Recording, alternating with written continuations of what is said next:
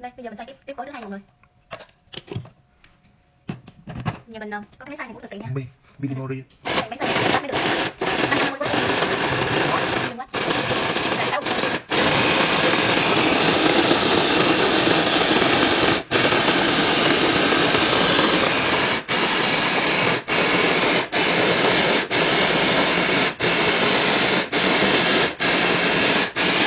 Mấy xay thì cho bắt xay mình phải nhấp nhẵn nhẵn nó mới Ừ. nó diễn. Đấy, như giò đấy. ok Thêm chút xíu đi cho nó diễn luôn.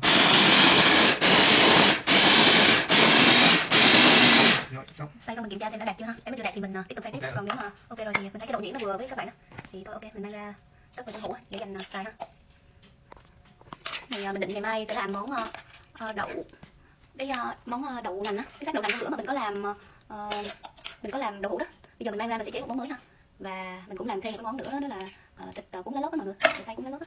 Cũng rất là ngon nha. Sẽ làm cho giò luôn. Ừ. Này.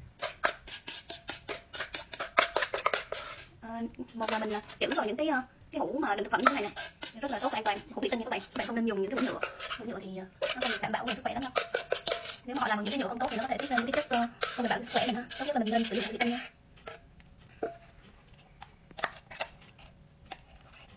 ok rồi. Bye bye. Tạm biệt các bạn.